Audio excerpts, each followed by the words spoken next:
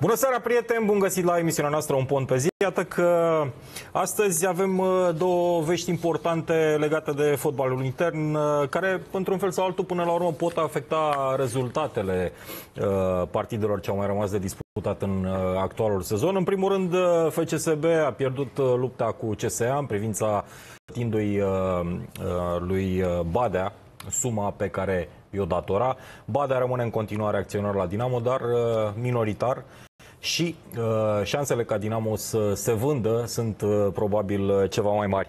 În privința partidelor care s-au uh, disputat astăzi în uh, campionatul intern, uh, trebuie să îl felicit pentru Sabin pentru inspirația de la Timișoara cu voluntari. Uh, spunea Sabin, uh, oaspeții marchează un pont simplu și la obiect fără niciun fel de complicații. Așa și fost pentru că uh, voluntarul a deschis scorul uh, rapid, a și câștigat partida în cele din urmă, 3-2 a fost uh, scorul final al întâlnirii. În vreme ce în uh, play-off uh, Viitorul a remizat pe teren propriu cu Astra Giurgiu, iar uh, dacă vă aduceți aminte, noi vă recomandam uh, gol în ambele reprize uh, pentru o cotă foarte, foarte bună, 1,91. Altfel, o parte din ponturi câștigătoare, o parte dintre ponturi uh, greșite. Unul dintre uh, cei care ne urmăresc emisiunea ne uh, îmi scria astăzi și mă întreba dacă ar putea paria 500 de lei într-un sistem ceva asemănător metodei Martingale pe această cotă de 2, biletul zilei. I-am explicat ceea ce v-am spus și noastră și o să continui să spun uh, lucrul acesta, că biletul este pentru a ne scoate pierdele din ziua respectivă. Practic, e o cotă de 2 care ne uh, acoperă eventuale pierderi din ziua respectivă. E adevărat, nu întotdeauna este câștigător, însă de cele mai multe ori se întâmplă așa și Așa cum uh, am discutat, uh, șansele să ieșim pe plus la finalul lunii, gândind foarte bine strategia uh, ne, și ținându-ne de ea, în primul rând, uh, ne avantajează. Prieteni, vă aștept pe pagina de Facebook. Sunt convins că mai aveți întrebări, sunt convins că mai aveți sugestii, ponturi și uh, pe pagina de Facebook, în comunitatea noastră, discuțiile sunt uh, non-stop.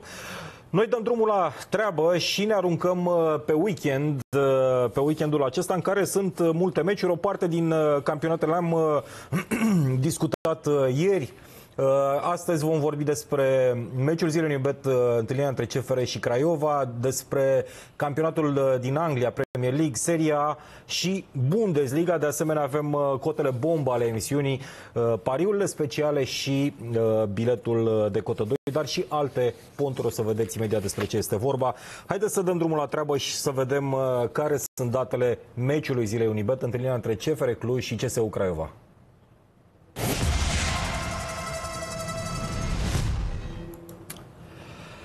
Meciul uh, etapei, probabil, uh, o partidă cu multe implicații, o partidă cu uh, fotbal uh, pe care îl așteptăm să fie atractiv, uh, dar sincer nu bag mâna în foc pentru această uh, situație, pentru că până la urmă Craiova și-a arătat și an deseori limitele, iar uh, CFR Cluj cu siguranță a dezamăgit. Până la urmă, în acest uh, play-off, uh, echipa lui Dan Petrescu a obținut doar două victorii în șapte meciuri, foarte, foarte puțin.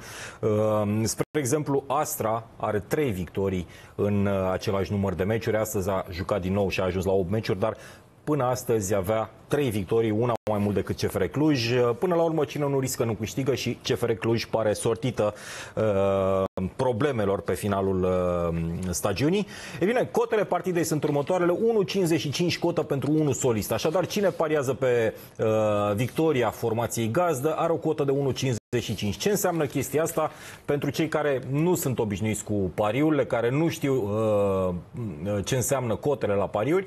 Înseamnă că dacă, de exemplu, am pariat 10 lei pe această cotă de 1,55, am câștigat 15 lei și 50 de bani în cazul în care CFR Cluj s-ar impune în uh, partida de mâine. Egalul are cota 3,75, 10 lei pariați aici ne-ar aduce 30 de, 37 de lei și 50 de bani, iar uh, Victoria Craiovei 62 de lei și 50 de bani cu aceeași sumă pariată 10 lei.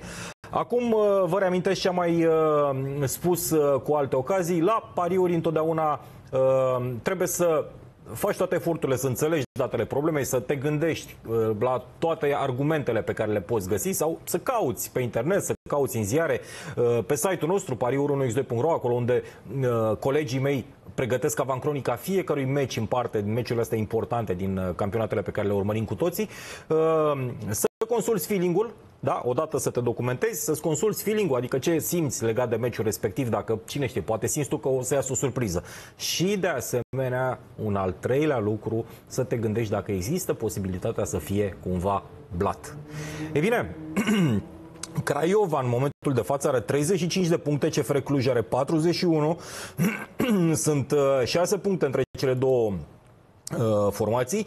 Astra Giurgiu a făcut și ea 33 de puncte după partida din această seară și uh, nu pare capabilă să pericliteze poziția Craiova. Așadar, Craiova nu este într-o situație stringentă în momentul de față.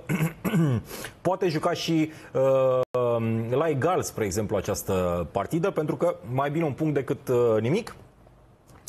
De partea cealaltă, CFR Cluj a demonstrat uh, incompetența pe care o are în uh, faza ofensivă în uh, etapa anterioară, când uh, pentru a patra oră consecutiv în disputa cu rivala directă Steaua, FCSB, uh, a deschis scorul și mai apoi a fost egalată. O echipă cu uh, eu știu, uh, putere ofensivă, cu siguranță ar fi uh, făcut un pic mai mult în, uh, în uh, patru meciuri cu uh, marea rivală la titlu din acest sezon.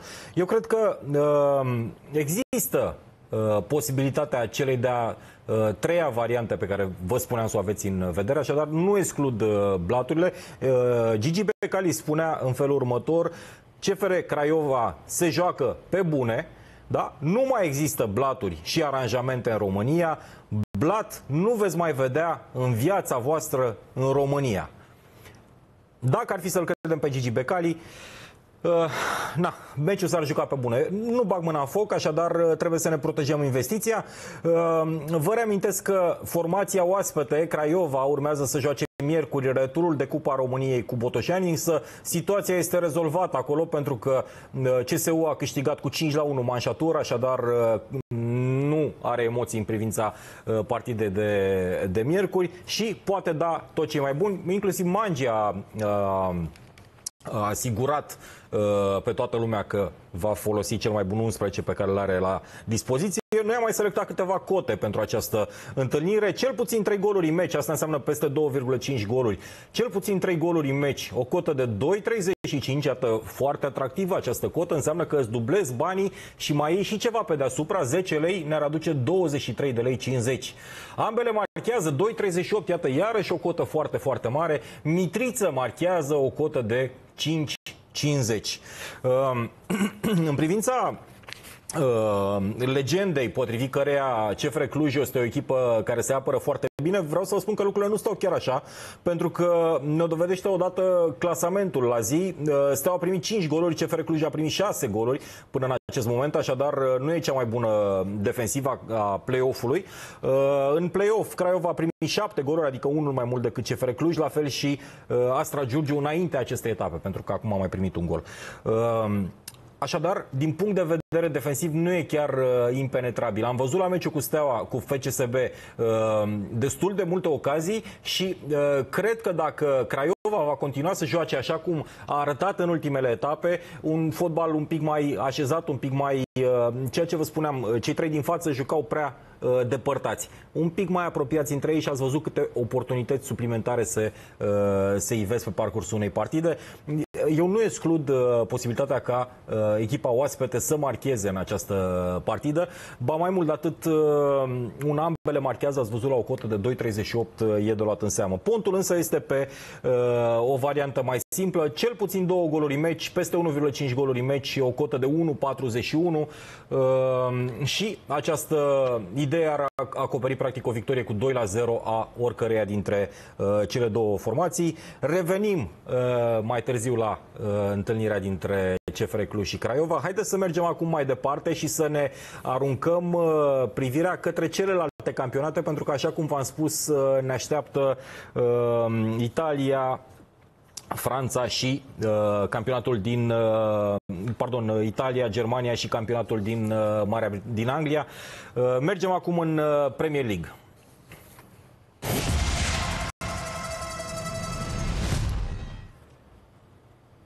Și uh, vă invit pe Facebook, acolo unde uh, să discută pe marginea a ceea ce urmărim aici. De obicei, când urmărești o emisiune la televizor, la fel ca atunci când citești o carte, nu poți să comunici decât dacă e cineva lângă tine. Altfel, cu cei de acolo implicați direct, uh, nu se poate.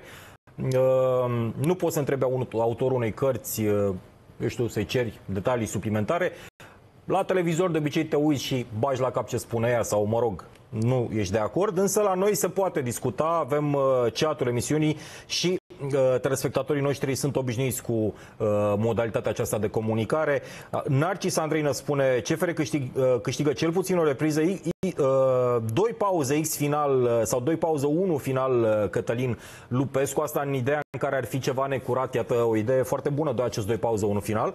Uh, ne întreabă un alt telespectator ce jucăm la Barça cu Real, uh, Ionus Nuțu, Ehm, cei care n-au urmărit emisiunea de ieri, am discutat acolo despre uh, El Clasico, pot găsi această emisiune înregistrată pe pagina de Facebook. Așadar, extrem de simplu, modern și uh, la obiect. Uh, mai sunt uh, mesaje. CFR Craiova 1x și 0-3 goluri. Uh, Dragoș Bărbulescu. Uh, ne salută Ionus Vătafu din Cluj, uh, din Tulcea, pardon, uh, Cluj, Craiova 3 la 2. Uh, scor corect. CFR prima repriză 2, așadar Craiova să conducă la pauză și cel puțin un gol ne spune în prima repriză Valentino Altobello. Uh, interesantă varianta și eu, uh, și eu iau în considerare că e posibil. Premier League, prieteni, haideți să vedem meciurile etapei Uh, sunt o serie de uh, partide în care trebuie să luăm în calcul și dezamăgirea care s-a așternut pe umerii uh, câtorva dintre echipele cu pretenții. Leicester este una dintre ele. O primește în această rundă pe West Ham, ocupanta locului 15. Leicester e pe locul 9 în momentul de față. Nu mai are absolut nicio treabă până la finalul sezonului. Însă, formația vizitatoare e la 3 puncte de uh, retrogradare și Ehm, are două meciuri grele în uh, ultimele două runde. Urmează să o întâlnească pe Manchester United acasă și apoi tot acasă pe Everton. Ehm, dată fiind lupta pentru evitarea retrogradării, cred eu că West Ham va face tot posibilul să scoată ceva din această partidă, mai ales că Leicester traversează o formă absolut uh, deplorabilă. Tocmai de aceea uh, mizăm pe varianta ambele marchează la o cotă de 1,64. Echipa lui David Moyes, West Ham, poate fi privită de drept uh, o echipă care nu e într-o formă foarte bună, însă dacă ne uităm pe adversarii pe care a avut în ultimele 4-5 etape, o să vedem acolo nume grele precum Arsenal, precum uh, Chelsea sau Manchester City. Așadar, uh, să-i dăm totuși un pic de credit lui West Ham în această deplasare, ambele marchează. Mai mult de atât am ceva important să vă spun. La Leicester e o listă absolut interminabilă de jucători disponibil Matty James, uh, Ndidi, Okazaki, Schmeichel, uh, Casper Schmeichel, uh, Danny Simpson, Amarty, Chilwell, Robert Hutt, Malcolm Albrighton suspendat, acesta restul sunt accidentați, iar Ibora este incert, nu se știe dacă va fi recuperat. În aceste condiții cred eu că sunt șanse ca uh, oaspeții să, să plece neînvins sau măcar să uh, ne iasă acest pariu cu ambele marchează. West Brom o întâlnește pe Tottenham pe teren propriu și Tottenham, iată, surprinzător pe final de sezon, uh, pare diferită față de ce uh, am văzut în, eu știu, două treimi din acest sezon sau trei sferturi chiar din acest sezon. O echipă uh, care se exprimă mult mai greu, rezultate mai proaste și are această deplasare pe terenul lui West Bromwich, West Brom, chiar dacă e ultima clasată, în ultima vreme pare să fi mâncat jar și în ultimele patru etape a reușit două victorii și două remize. Rezultat care, rezultate care ne fac să ne gândim că e posibil ca West Brom să nu piardă la scor această partidă. Noi încercăm varianta 1 cu handicap asiatic plus 1,5 Ce înseamnă chestia asta? Înseamnă că West Brom nu pierde la mai mult de un gol uh, disputa cu Tottenham. Dacă face egal, dacă câștigă, pariul e de asemenea câștigător. Dacă uh, pierde la un gol, pariul e câștigător. Să nu pierdă la mai mult de un gol, cota e 1,73. Chelsea joacă cu Liverpool în, uh, în această rundă. La Liverpool e o situație destul de complicată pentru că sunt multe absențe, iar Jurgen Klopp nu are pe cine să uh, bage în teren dacă cumva se gândește să menajeze dintre titulari. Uh, probabil s-a adunat ceva oboseală după semifinalele Ligii Campionilor și programul destul de încărcat din uh, campionat, dar nu are acest lux de a menaja